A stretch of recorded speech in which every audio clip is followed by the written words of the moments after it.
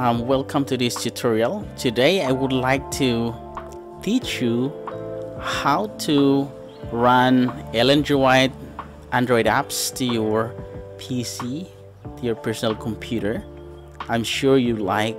White apps very much this is one of the best Adventist apps um, that our denomination produce and so you know you can enjoy that apps in your PC if you know how to do it.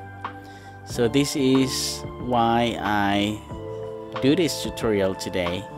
Okay so what you're gonna do is to download the software called BlueStacks.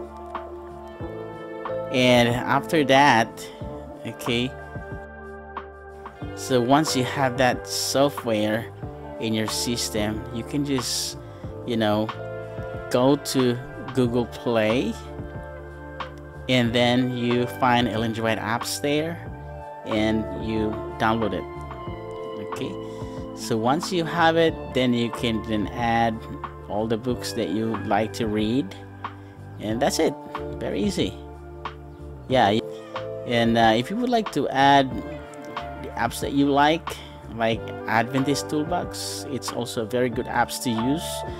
So you can have it too. So that's it. Thank you so much. And please don't forget to subscribe. God bless you.